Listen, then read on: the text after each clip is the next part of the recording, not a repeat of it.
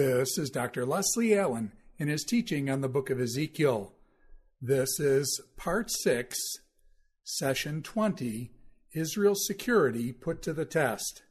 Ezekiel chapter 38, verse 1 through chapter 39, verse 29.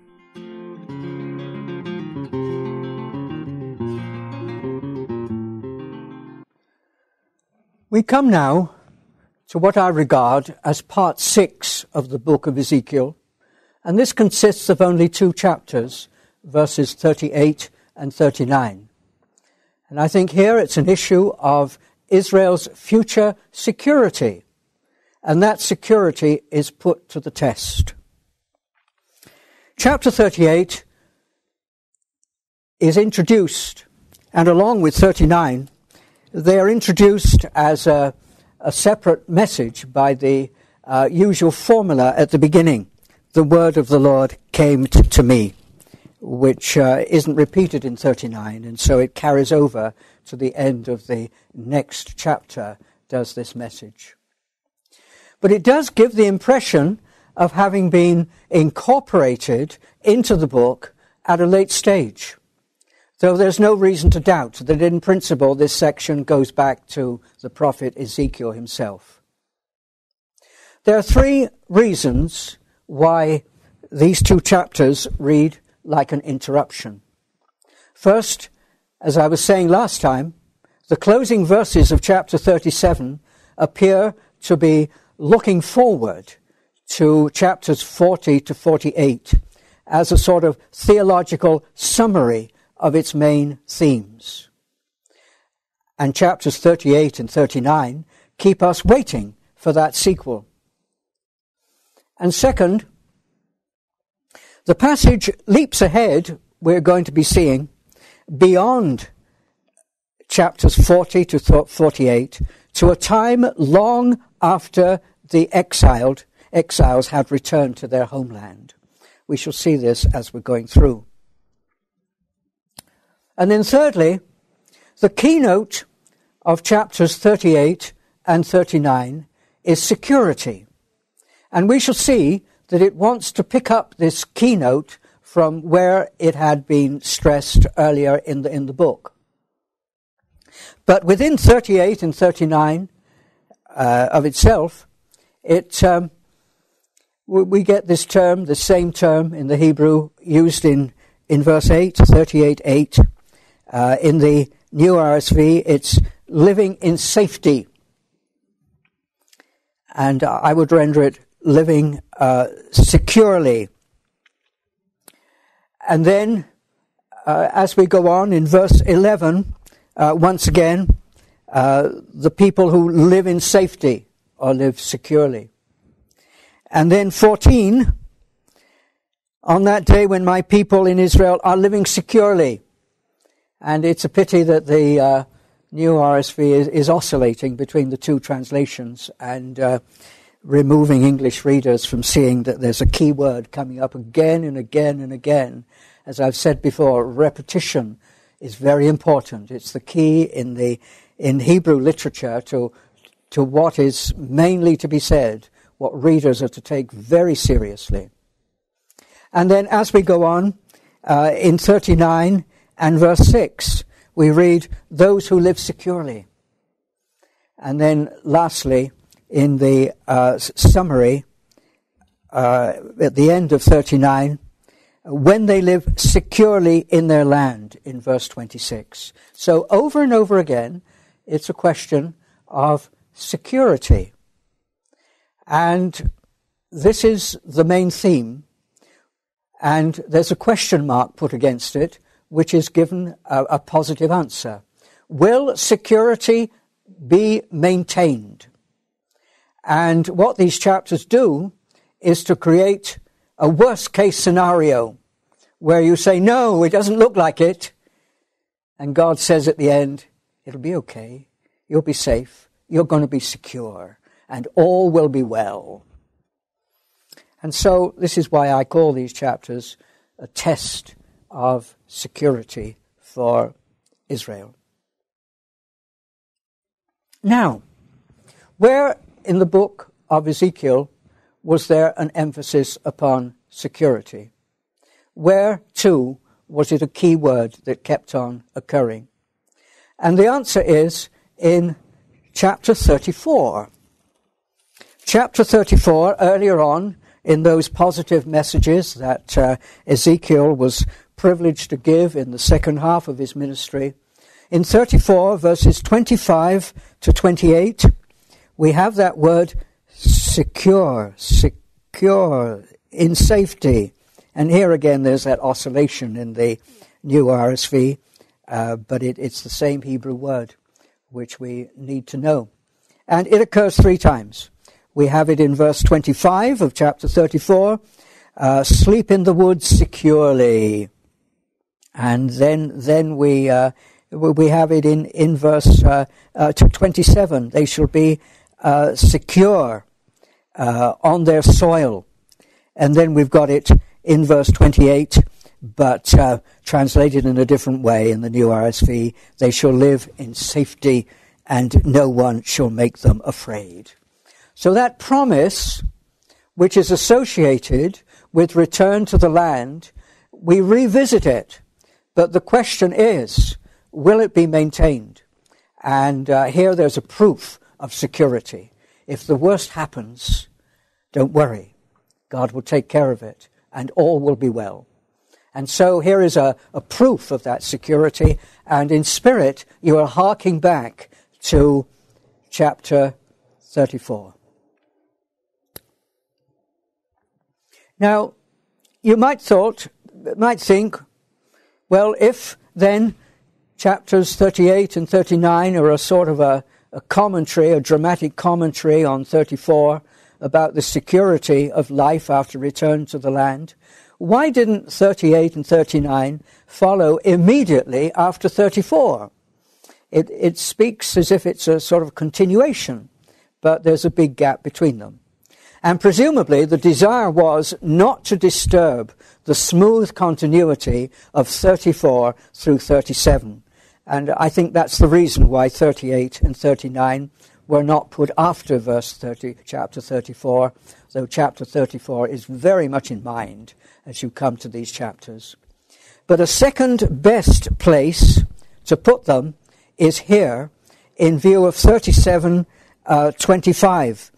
They shall live there forever. They shall live in the land that I gave to my servant Jacob. And verse 25 of the previous chapter says, goes on to say, they shall live there forever. And so there's an implication of security there. And so uh, perhaps it's not so bad that uh, the new section is placed after that statement and justifying that.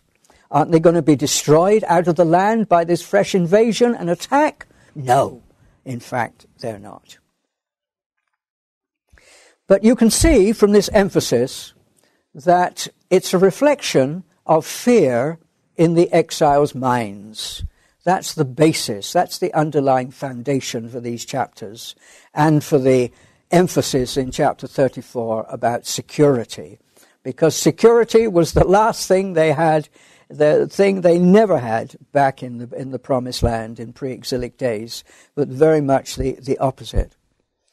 And they'd been driven from their homeland by a powerful national enemy. It could happen again, couldn't it? How do they know it's not going to happen again? And there is this anxiety in the exiles' minds, and that's in the background, in the implicit background behind these chapters. And so it's all very well for Ezekiel to prophesy a return to the homeland, but how could they be sure it wouldn't happen all over again? Enemy invasion. They proved vulnerable once, and what if? Dot, dot, dot.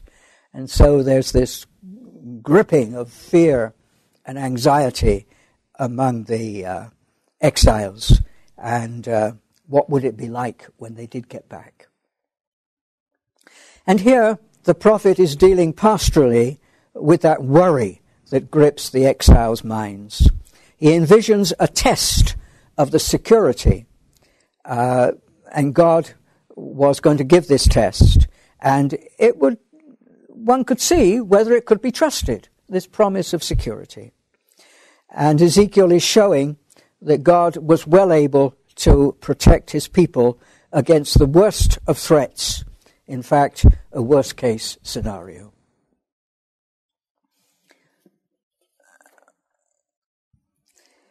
One thing about these two chapters is that they concern a foe from the north. And that had been a frightening thing uh, for the exiles in an, in an earlier few decades. Jeremiah had prophesied very often there's going to come a foe from the north.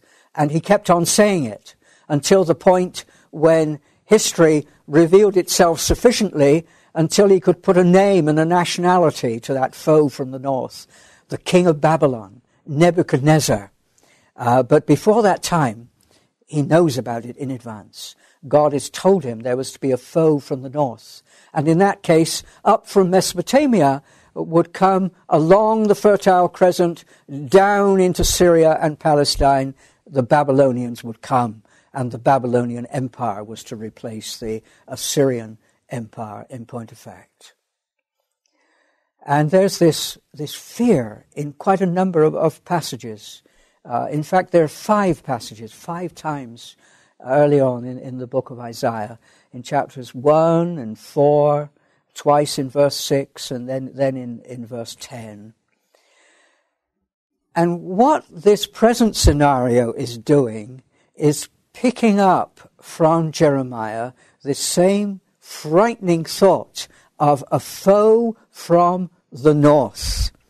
And if we sample um, certain verses here in 38 and 39, we shall see that mention. Uh, the end of verse 6 from the remotest parts of the north. Sounds like Jeremiah again. And then 38, uh, 15 coming out of the remotest parts of the north, and many peoples with you. Sounds like the Babylonians with their imperial contingents of their uh, vassal uh, subjects. And then uh, in 39 2, we, we read again God will bring you up from the remotest parts of the north and lead you against the fountains of against the mountains of Israel. And so we have at first a nightmarish situation. Uh, Jeremiah's oracles revisited, which did indeed bring terrible trouble and disaster upon Israel. And so Ezekiel 38 and 39 is picking up this frightening notion of a, a foe from the north and this section, this uh, section of, of the book, plays out that worst case scenario all over again. But in this case, we, we do get a name given uh, to this, uh, this future enemy. Uh, in verse 2, Thus says the Lord, I am against you, O Gog, chief prince of Meshech and Tubal. And we, we have a mention of, of, of Gog, and, and uh, and earlier on, in fact, in verse 2, mortal, set your face, stare fixedly toward Gog of the land of Magog. And Gog seems to be the king's name, and the, uh, the people's name was to be uh, uh, Magog. And uh, this is very significant. And it's significant, too, that it's linked with Meshech and Tubal. Meshech and Tubal were in the northeast of Asia Minor, and they were mentioned back in chapter 32 and 26 as historical has-beens, once all powerful, but powerful no longer. But they, they had been a threat in, in earlier times uh, to the people of Mesopotamia. And that name Gog, whose people are here called Magog, was actually the name of a king of Lydia in West uh, Asia Minor, and he reigned back in the first half of the 7th century BC. So here is a figure from the past, uh, conjured up by, by this name. Uh, he's spoken of as a new foe from the north. And it, it's a bit like speaking of a, a new Hitler or a new uh, Stalin. And uh, this ruler, he, he'd been ruler of a large section of Asia Minor, modern Turkey. And so this is a frightening thing. This uh, old king who reappears uh, in, in a new uh, guise as the new, new enemy. But, and so we have a number of reminiscences of um, earlier times, even as, as we begin uh, this uh, glimpse into a new and frightening future. But there's something reassuring. And that reassurance comes, in fact, in verse 3.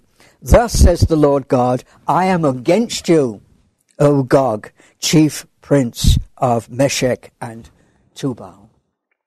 Uh, and it's reassuring that this, this group, this king who rules over much of Asia Minor, in fact, uh, he has God as, as his enemy. And the same thing is said in 39 in verse 1. I am against you, O Gog, chief prince of Meshech and Tubal. And so, this is the first hopeful thing we've met, that this is the enemy of God.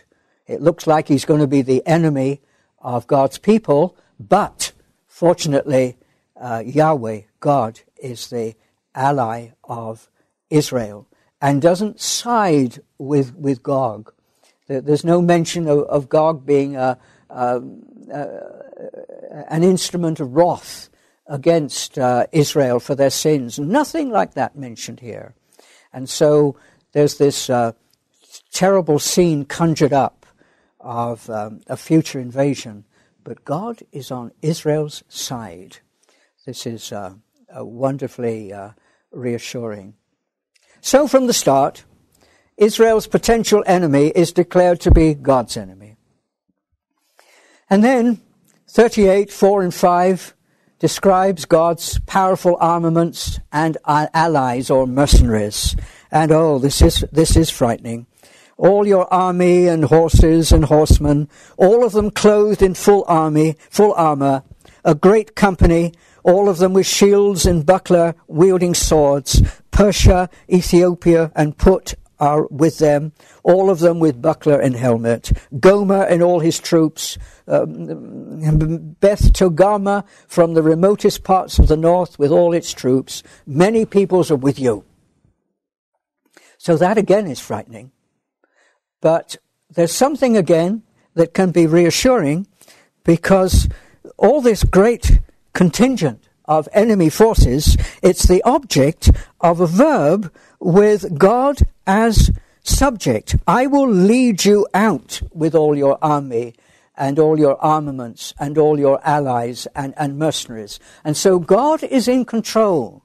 God is in control. And so Gog is the enemy, and God is in control in the coming of this uh, terribly, immensely strong army.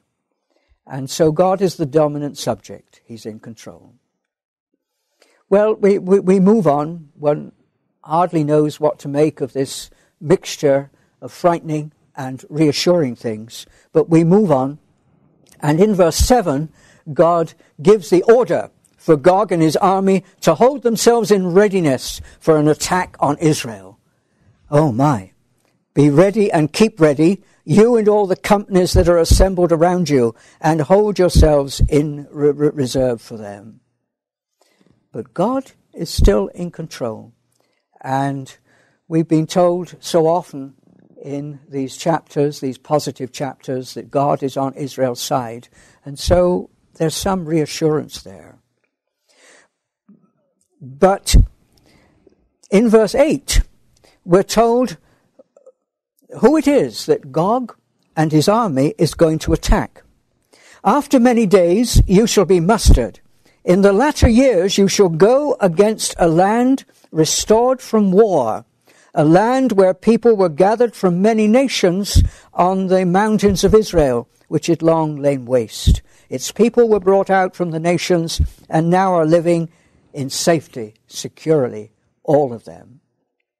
And so a mention of present security, and a, a, a hint that after many days, uh, the people go back and live in the land, and years and years go by, and then this attack comes. Then this attack comes, and so it, it follows on uh, from all those promises being fulfilled in uh, in 36 and and in 37.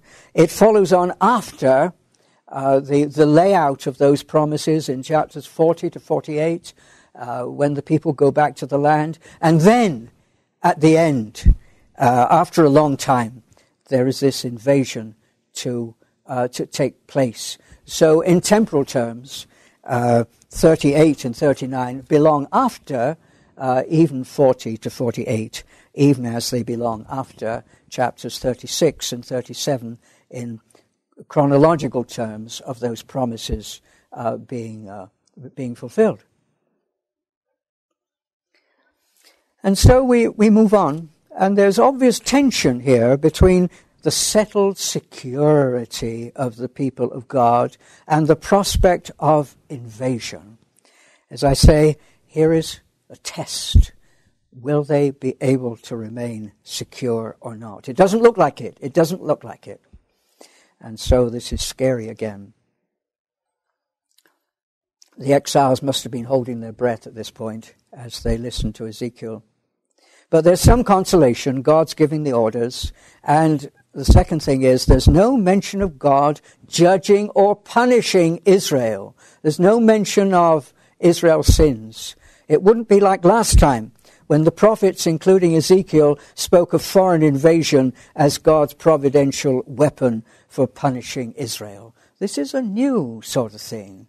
Uh, it is difficult to make out, but there are reassuring things that are said and that are not said. But yet, in one respect, there was a similarity. Uh, there's a, a vital passage that I've mentioned before, perhaps a number of times, in Isaiah uh, chapter 10. And um, there we, we, we, we have a, a very important principle uh, which relates to all the books of the classical prophets. And we have two phases in the outworking of God's will. First of all, in Isaiah 10 in verse 5, Ah, Assyria, the rod of my anger, against a godless nation I send him, against the people of my wrath I command him. And it was terribly true that that was a reference to, to Judah. And what was God's purpose? To spoil and seize plunder, to tread them down like the mire of the streets. But this is not what he intends. Uh, Assyria personified, he doesn't have this in mind. It is in his heart to destroy and to cut off nations, uh, not a few. And so here there's this distinction as to what God required of Assyria and Assyria going too far. And this leads on to the second part of Isaiah's message in chapter 10, verse 12. When the Lord has finished all his work on Mount Zion and on Jerusalem, he will punish the arrogant boasting of the king of Assyria and his haughty pride, who says, By the strength of my own hand, I, I've done it. So, yes, Assyria is the rod of God's anger, but Assyria goes too far. And in various respects, Assyria incurs God's anger. And so when Assyria is done its terrible work on Judah, it will be Assyria's turn to be punished in turn. So there are two phases. Uh, the punishment of Israel, first of all, and then the punishment of Assyria. And there's hope in that. There's hope in that because that could bring with it uh, uh, salvation for Israel, in, in fact. And the, the, the, classical prophets are, are playing with these, uh, with these two phases uh, throughout all their uh, work, in point of fact. A fundamental uh, passage there in Isaiah chapter 10. And uh, chapter 38 is picking up something from just one thing from, uh, from, from, from, chapter 10, uh, that, um, that there was, uh, there, there, there, was mentioned there, uh, in verse 10, in fact. Thus says the Lord God, on that day thoughts will come into your mind and you will devise an evil scheme. And so uh, Gog and all, all his army, they're going to be uh, marked by a, a, new strategy which, um, which will come into Gog's mind, and it will be an evil scheme. And this is very similar to the initial mandate of Assyria as the, the rod of God's wrath. Uh, but over against that, uh, Assyria had something else. And he thought of destruction, absolute destruction. And he was going beyond the mandate that, God gave. And here too, there's a going beyond the mandate where Gog is concerned. And so uh, one has uh, Gog's idea as to what's to happen in this campaign, but it's going to be checked from the start because it's judged by God to be an evil scheme. And so, in the light of that, in the light of that reminiscence of uh, a second stage of uh, in Isaiah 10, where Assyria incurs the anger of God in turn, this evil scheme uh, is a bad omen uh, where Gog himself is concerned. And so we've got this one reminiscence of Isaiah chapter 10, but nothing is said about Gog being the rod of God's anger. And so we're playing with older ideas, but within, uh, within a, a, certain limit, in fact.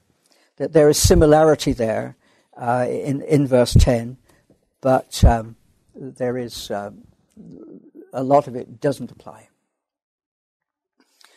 And so, in the case of Gog, God's agent, yes, but there's an accusation of this uh, evil scheme. And uh, so uh, one, one can think back to uh, that parallel of sorts with Assyria and the expectation that there will be punishment for, for uh, Gog. And Gog is incurring, going to incur God's hostility for going beyond the divine mandate. So readers are being prepared for judgment to fall upon Gog and his great army as he invades, just as doom was promised for Assyria in Isaiah chapter 10. And then look at verse 14. Therefore, mortal, prophesy and say to Gog, Thus says the Lord God, on that day when my people are living securely, you will rouse yourself and come from your place out of the remotest parts of the uh, north. And uh, notice that first word, therefore, therefore, because uh, this is how verse uh, 14 begins. And we've read enough of Ezekiel and perhaps the other prophets to know that uh, we're moving into a message of judgment against Gog now and that what's gone before has uh, played the part of an accusation. Uh, and it's that evil scheme that, that, that, we had in, in verse 10 thoughts of your own that come into your mind. And God says no. And so we're beginning to talk of uh, judgment. But it, it's, still, it's still frightening. You shall come out of your place, out of the remotest parts of the north, you and many peoples with you, all of them riding on horses, a great horde, a mighty army. Can God carry it off? Can Israel's God carry it off when there's so much opposition? Can he stand up against his foe and protect his people? Well, uh, Gog is going to come up against my people Israel like a cloud covering the earth. But there's a consolation in the fact it's my people Israel. And God is the ally. And you, you have this uh, um, expression of the part of that covenant formula, my people Israel. And then, too, there's a little consolation also, as verse 16 goes on. In the latter days, I will bring you against my land, my land. It's God's land, and foreigners had no right to be there. And so there's a little assurance there. And so tension, tension, tension, but we're getting more of the positive material, more of uh, reassurance, but it's still mixed with, uh, with uh, uh, a great sort of uh, experiment, the thought of an experiment that could go wrong. There's a facility there, so much there that could go wrong. But the, the prospect is, the prospect is that God is going to win. And this is expressed at the end of verse 16. So that the nations, this is the purpose, so that the nations may know me when through Gog I display my holiness before their eyes.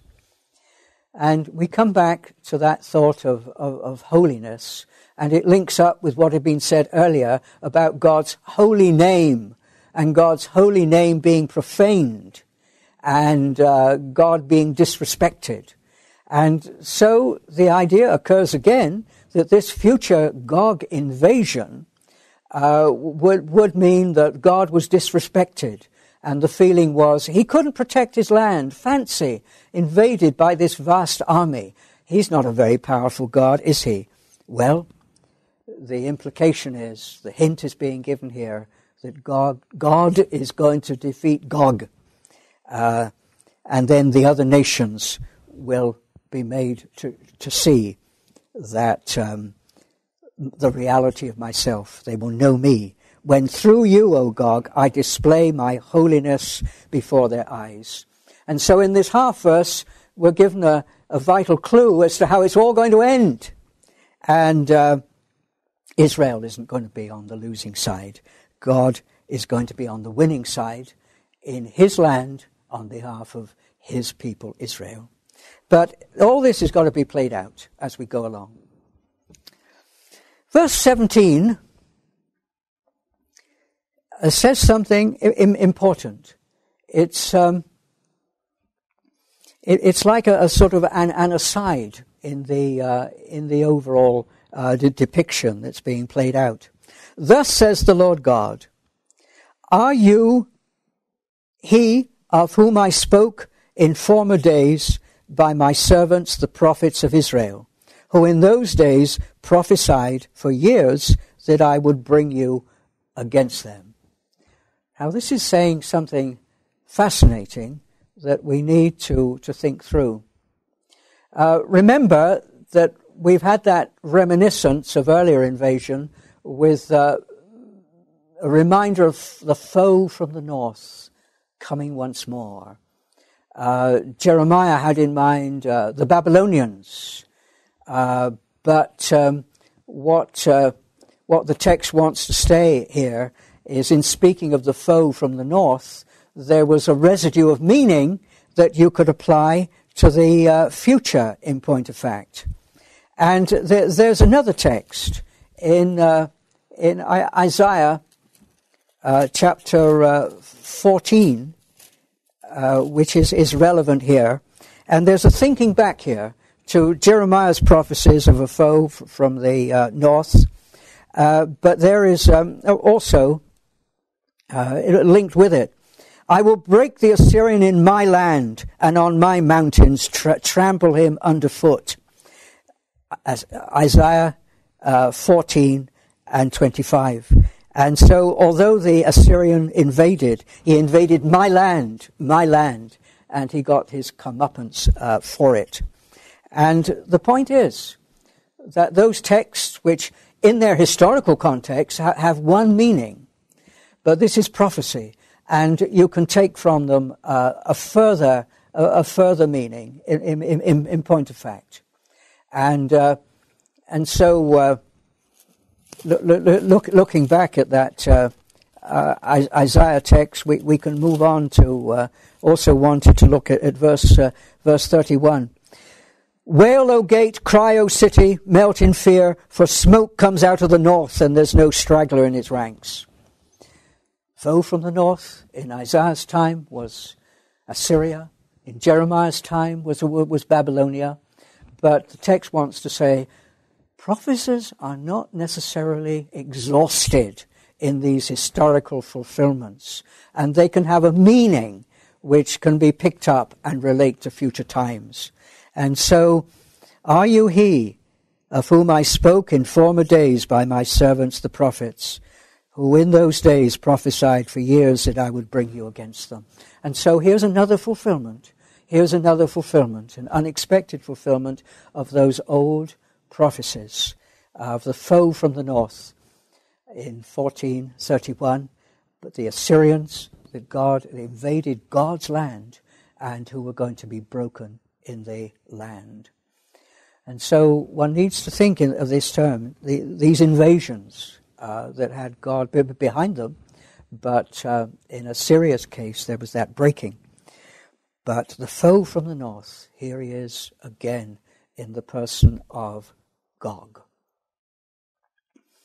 Verses 18 through 23 speak at the beginning and end of God's uh, judgment against Gog. Verse 18 On that day when Gog comes against the land of Israel, says the Lord God, my wrath shall be aroused. And then at the end in verse 23, so I will display my greatness and my holiness and make myself known in the eyes of many nations. Then they shall know that I am the Lord. And so already there's this decisive, we come to the point where there's, there's this decisive uh, conquest of Gog to take place. And what was a terrible fear comes now with a reassurance that God is the enemy who's going to intervene on Israel's side. And Gog, powerful though he was, was going to uh, be conquered. And along with that, you, you, you, you have uh, verse 19, and this is uh, an important uh, thing to, to notice. For in my jealousy, or in my passion, my passion for Israel, and in my blazing wrath, I declare, on that day there will be a great shaking in, in the land of Israel, and, and so on. But God has this wrath against Gog, and he has this jealousy or passion uh, for his people Israel. And so these are uh, indications, strong emotional indications that all is going to be well, uh, terrible though this news seems to be of invasion. And then as, as we read on, there, there's going to be earthquake, there's going to be self-destruction among Gog's army, there's going to be plague, and there's going to be storm, all to defeat God's foes, God, Gog's forces, rather, as the foes of God. And there's a word that crops up again and again that we've got to notice. Great is a key term. In verse 15, it's Gog's great army. Back in verse 15, a great horde, a mighty army. But then, over against that, in verse 19, you come to a great earthquake.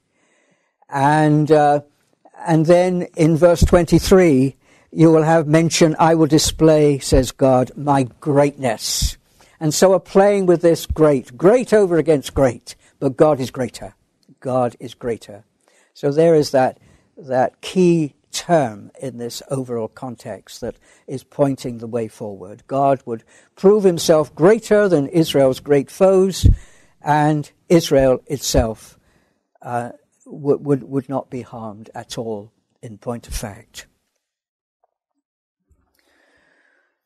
We come on to chapter 39, and verses 1 to 5 is a sort of a, a recap uh, of 38, 2 to 3, and then carries on in a message of judgment. I will strike your bow from your left hand, in verse 3. I will make your arrows drop out of your right hand. You shall fall upon the mountains of Israel, you and all your troops and the peoples that are with you. And then I will give you to birds of prey of every kind and to the wild animals to be devoured. You shall fall in the open field. And so, as we as we move on, it, in verse 6, I will send fire on Magog, the people back home that God rules over, and on those who live securely in the coastlands, the west coast of Asia Minor, and they shall know that I am the Lord. Notice that expression, those who live securely in the coastlands. The tables were to be turned, and Gog, who try to invade a people living securely, he will find that the war is carried back into his own country and his own people, living securely, will find that so no more, but will be the fire of the victims of, of fire and destruction themselves. And so Gog is going to fight against uh, God. God get mixed up with these two terms; they're so similar. God would fight not only against Gog, but also uh, the people back in the homeland against Magog, and the tables would be turned, and secure communities in Asia Minor would suffer instead. And verse seven, it comes back to this notion of holiness, which has been uh, cropping up already in 38 uh, more than once. Uh, my holy name I will make known among my people Israel. I will not let my holy name be profaned any more. And the nations shall know that I am the Lord, the Holy One in Israel. And we're picking up this notion. Uh, it was so where the exile was concerned. There was a profaning of God's name. Remember that uh, in an earlier chapter. And uh, God had to bring the people back from exile. He had to give a great demonstration of power on his people's behalf for his name's sake, for the sake of his holy name, to re-establish a sense of that uh, great holiness and, and, and, and power uh, that belonged to, to, to, his name. And this thought is picked up again, that uh, in this uh, invasion of Gog, uh, I will let my holy name not be profaned anymore. And then verse 8. Verse 8 is rather interesting because it links up with verse uh, 17 of chapter 38. And it too is a sort of an aside, a sort of a theological aside, talking about prophecy uh, uh, on a big scale. It is come it has happened, says the Lord God. This is the day of which I have spoken. And what, what's being said is that canonically, historically, all those prophets, they, they spoke of disasters coming uh, through the Assyrians and, and through, the, through the Babylonians. And we, we, we thought of the Assyrians being defeated and eventually God would, um, would vanquish the Babylonians and bring the people back from exile. But in all this, there's an element of future contingency, and these texts are not. Uh, are not necessarily fulfilled absolutely in their own historical circumstances, but they can point forward to other fulfillments. And so it is come, it has happened, says the Lord God, this is the day of which I've spoken. And uh, just as um, in verse 17, of chapter 38, uh, Gog's attack was hailed as a prophecy newly fulfilled. So here, Gog's defeat is hailed as uh, uh, a fulfillment of earlier prophecy. And there's this canonical looking forward in, in the prophets, which wants to push forward to, to further interpretations and there's a claim of such interpretation here in 39.8, which is matching 38.17. But what was to be the role of God's people in all this? Were they to fight, fight Gog? Well, that, that is never said. God never mobilizes his own troops. We're not back in the judges period now. That's never mentioned.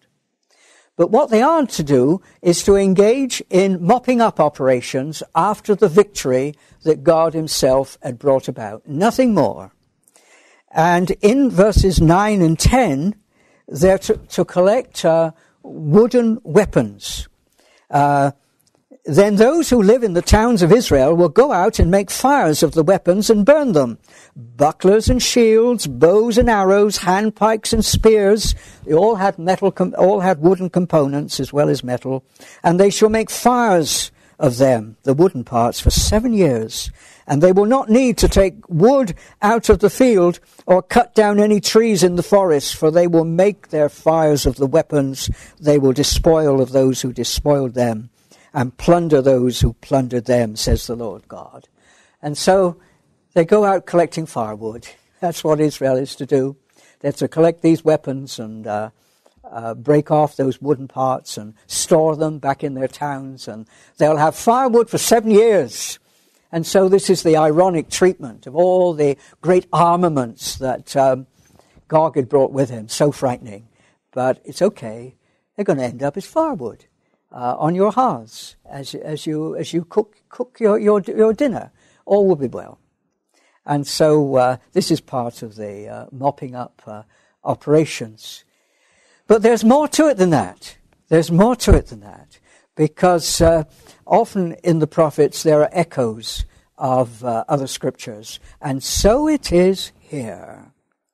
Because burning weapons, where has that come? There's one place where it's come uh, in the Old Testament, in the Psalms, and it's in Psalm 46. And this is one of those Psalms that we call the Songs of Zion. And they embody a tradition that all will be well for Zion. God is our refuge and our strength and a very present help in trouble.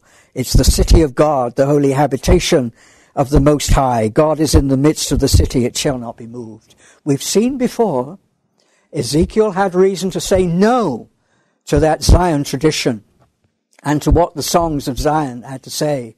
I imagine that the, the, the preachers among the exiles would be very keen to preach those songs of Zion. Say, it's all right, it's all right. Very soon we're going to go back home. Yes, God, it's all going to be all right. And this is just a hiccup in, uh, in, in, in, in, our uh, future history, this exile. Going to go home very soon. And that was what prophets of, of peace could say and preachers of, of peace. But now, now, eventually, but after the judgment of, of, exile, after a long judgment of exile, as it turned out, there's a reclaiming of this Zion tradition, a reclaiming of what it said in one of these songs of Zion. Because what does it say in Isaiah, uh, sorry, Psalm 46 and verse 9? He makes wars cease to the end of the earth. He breaks the bow. He shatters the spear. He burns the shields with fire. He burns the shields with fire. And so there was a metal covering on the front of these shields, but essentially they, they would be uh, wood and so could, could be burned. And that message from the Song of Zion is hailed as pertinent and applicable to this Gog situation. And so there's this uh, reminiscence and a reclaiming of that old Zion tradition. But it's very late in the day. So, Burning Weapons is supposed to ring a bell for its readers. And I, have helped it um, to ring a bell for you in harking back to Psalm 46 and 49, which celebrates the, the God's defeat of Israel's enemies who attack Jerusalem. And uh, so there's a co opting of the uh, message of, of, of, victory, and it's applied to this new uh, situation. And we remember how Psalm 46 begins God is our refuge and our strength, the very present help in trouble. So this would be coming true again in this terrible Yes, truly terrible experience of Gog's invasion, but all would be well. Therefore we will not fear, said Psalm 46. And so this was true also in this prospect of the coming of Gog. And so we find that the old Zion theology uh, would come true again eventually. And these two chapters, we've been noticing in 38 and 39, they find various ways to calm the anxiety of the exiles. And then in verses 11 through 16, there are more uh, mopping up operations for God's people to, to do. Uh, there are all these, these corpses lying about, and they've got to be buried because uh, corpses are uh, defiling, in fact, and so they have to be buried in order to cleanse the land. And um, there's an emphasis on, on that. Three times we get the, the need to cleanse the land. The end of verse 12. Seven months the house of Israel shall spend burying them. these, uh, these soldiers uh, from the armies of Gog and his allies. Seven months the house of Israel shall spend burying them in order to cleanse the land. And then uh, in verse 14, so as to cleanse it, cleanse the land. And then in verse 16, thus shall they cleanse the land.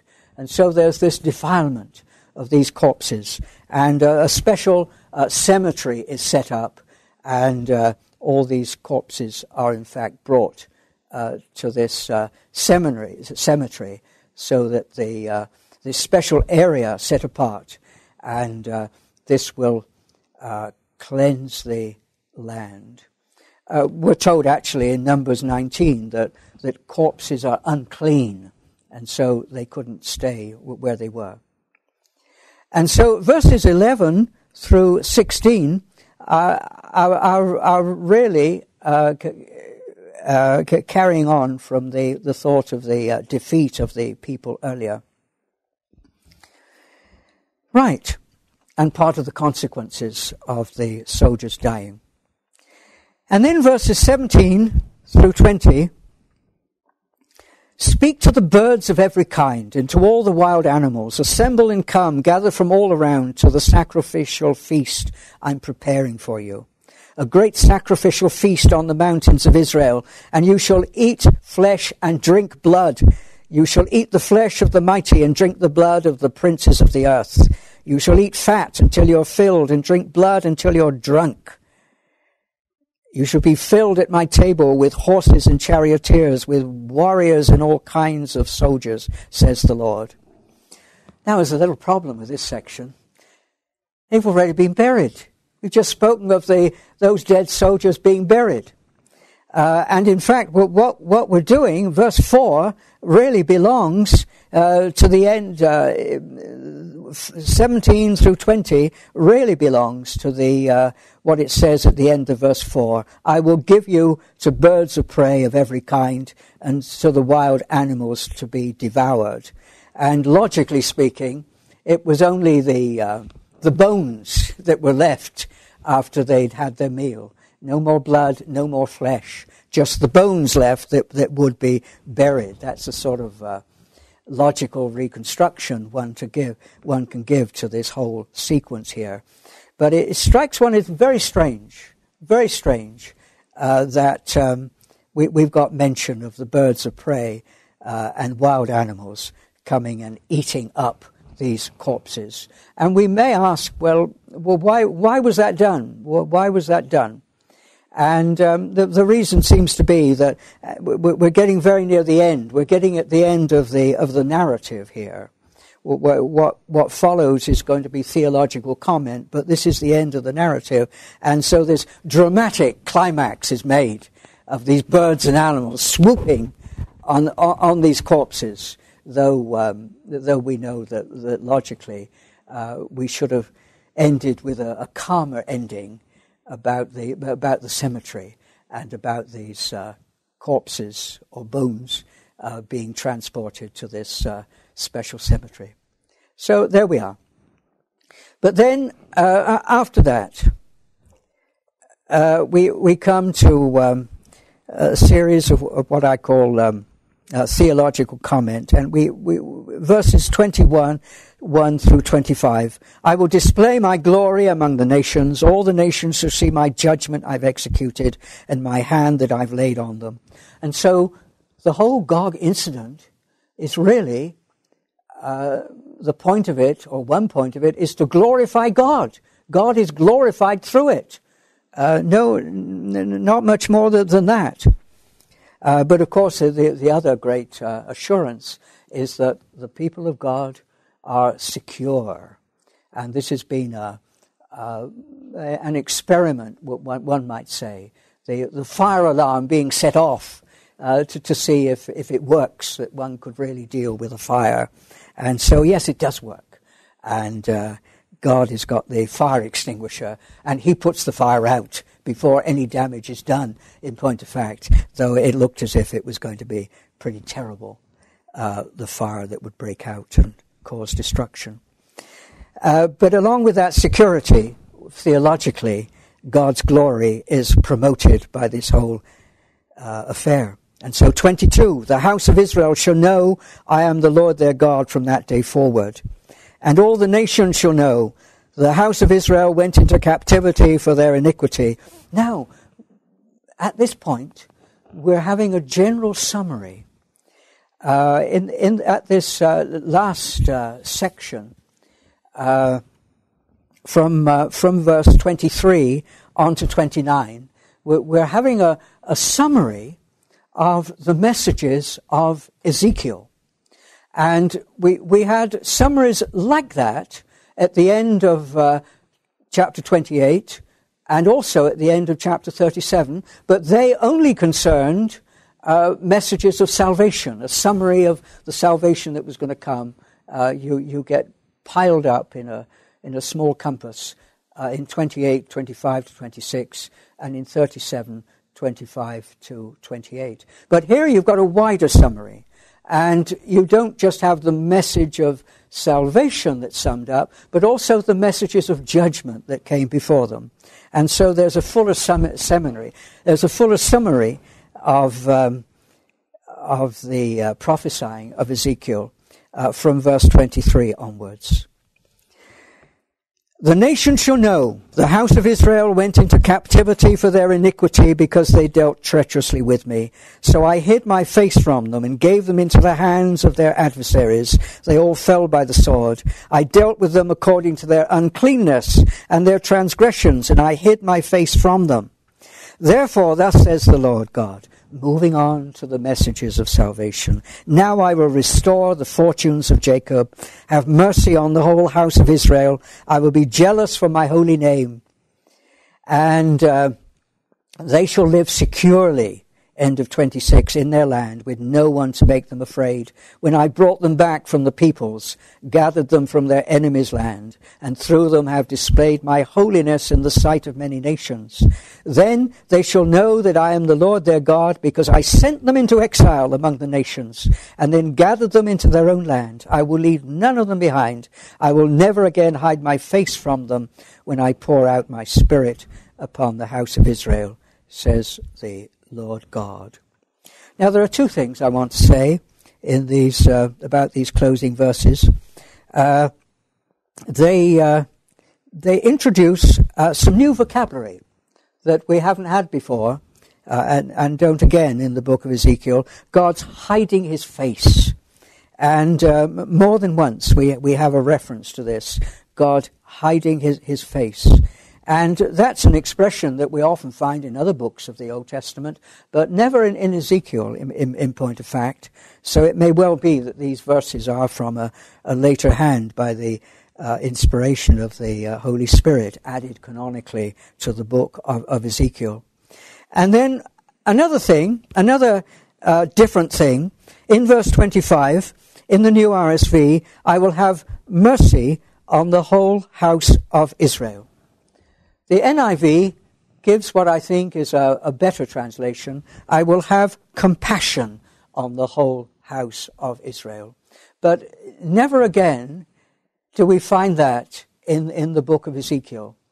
We find that God is described as having great empathy.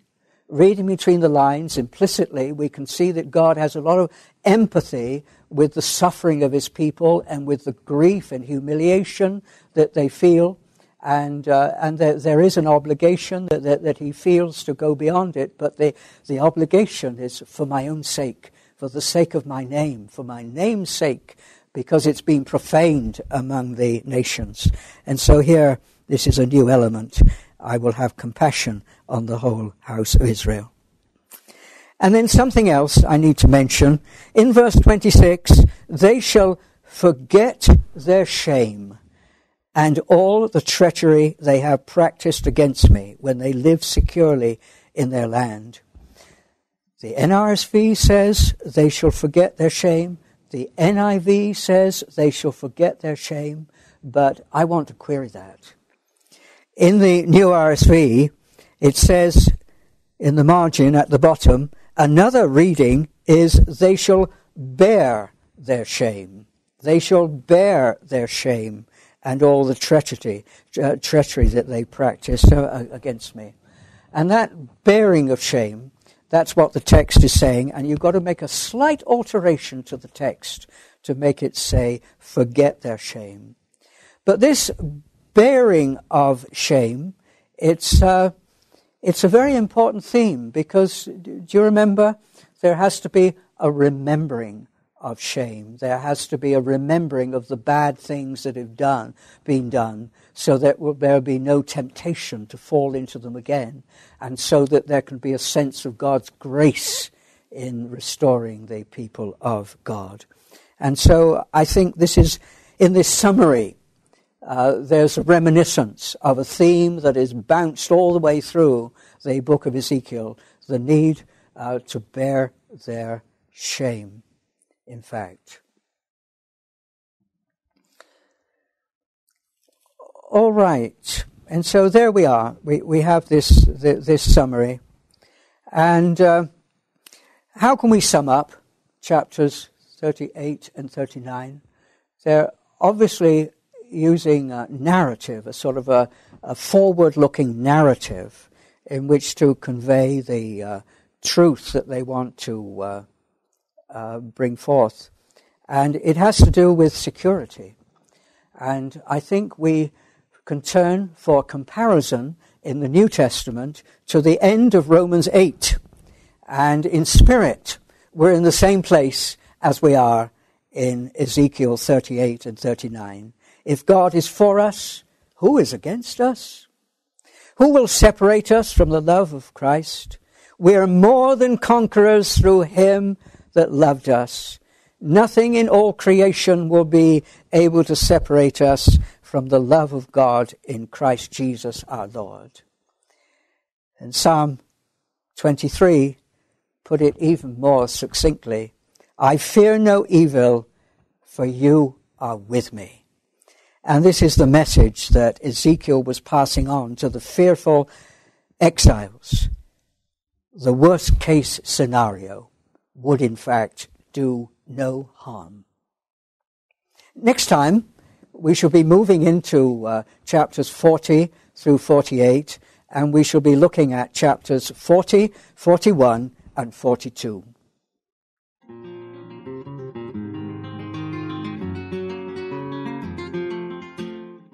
This is Dr. Leslie Allen in his teaching on the book of Ezekiel.